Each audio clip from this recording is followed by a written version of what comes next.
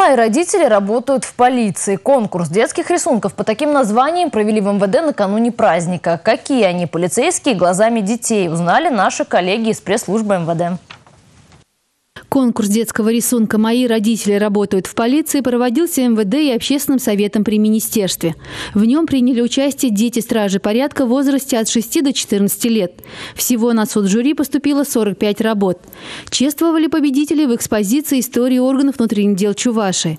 В мероприятии приняли участие заместитель министра внутренних дел по Чувашской республике, полковник внутренней службы Олег Яковлев, председатель Совета ветеранов Михаил Киселев и член Общественного совета Владислав Кондратьев. Игнатьев. Ну и как э, дизайнер, э, как скажем, города могу сказать, что это вот, вот так вот очень важно развиваться. Мы сами все с этого начинали.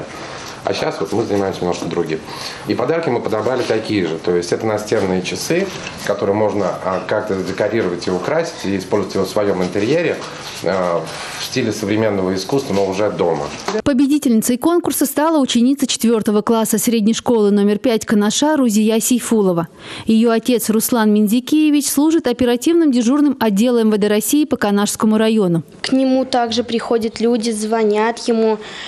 И говорят ему о происшествиях. И из-за этого я хотела нарисовать, как,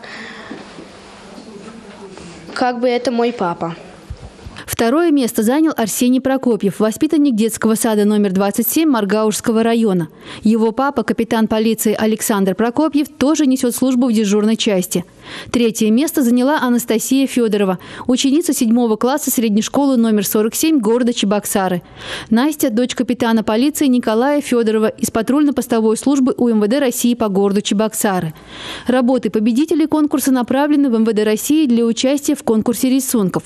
Остальные будут размещены на стендах в Театре оперы и балета, где стражи порядка республики отметят свой профессиональный праздник.